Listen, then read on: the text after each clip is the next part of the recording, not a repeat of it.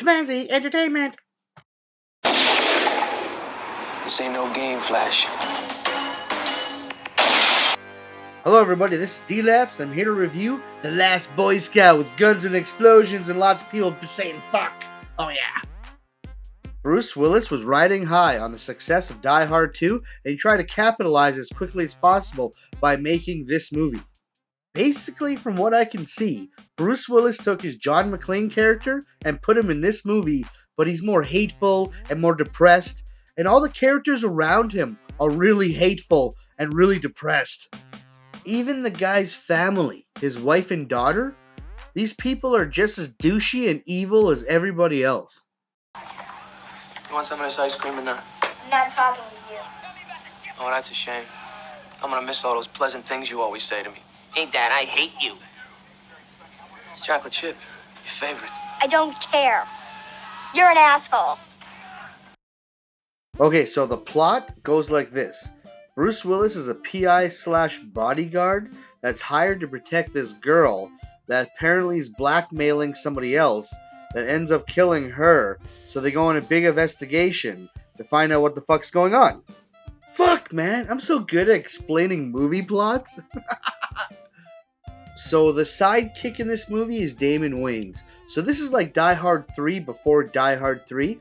He's a pretty funny character and he has some good one-liners and some good action moments, but Bruce Willis here steals the show because he is the star of the movie, but every minute that passes in the film, his life gets crappier. If you touch me again, I'll kill you.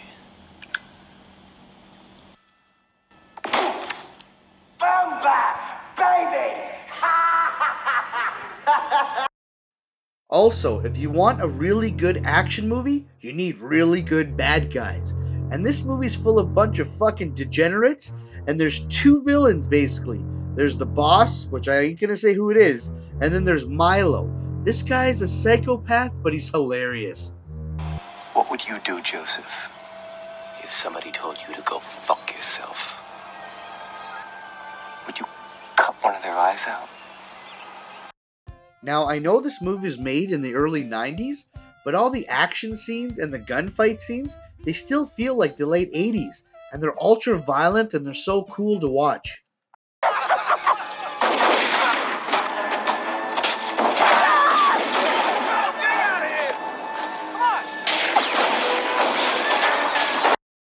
Oh yeah, man, that 80s action goodness right there. Ah. And because of the two characters, Damon Wayans and Bruce Willis, move from location to location so quickly, there isn't much downtime before the next action scene or gunfight or comedy bit. Why did Mr. Milo cross the road? I don't know why.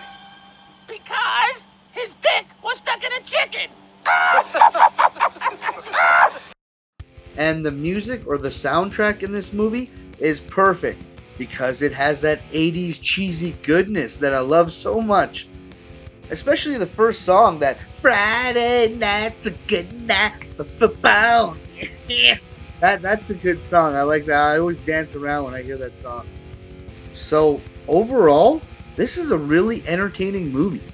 Almost a montage of action flicks of the 80s and remind you of how great they were basically taking all the good action scenes of the 80s and throwing them all in this movie with a little bit of spice of Bruce Willis. But realistically, it all comes down to chemistry. Willis and Damon, they have chemistry. They're funny when they're together. They work off each other really well. And yes, there are a few things in this movie that slow things down.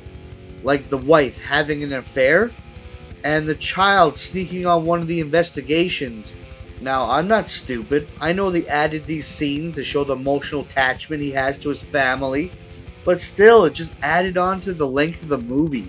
Because it would have made this film flow so much better than having that shit drag it down all the time. So I shall rate this movie an 8.5 out of 10. That's what it gets, and that's what it deserves.